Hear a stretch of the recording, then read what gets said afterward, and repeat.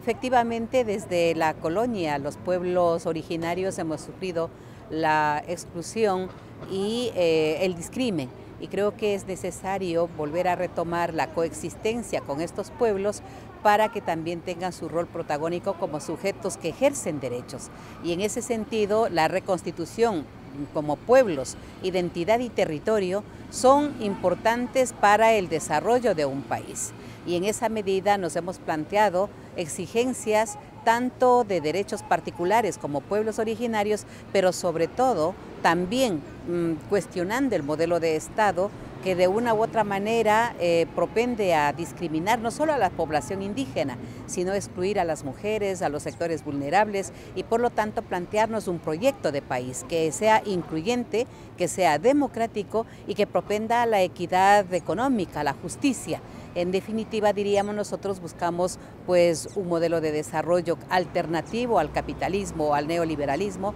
eh, un modelo de Estado que eh, incluya y que en ese sentido deje de ser eh, de predominancia o hegemonía monocultural y sobre todo el ámbito epistémico de conocimientos y cognitivo sea valorado a la par entre la convivencia de las culturas y civilizaciones en el mundo. Se ha visto obligado en muchas eh, de las ocasiones, por ejemplo, eh,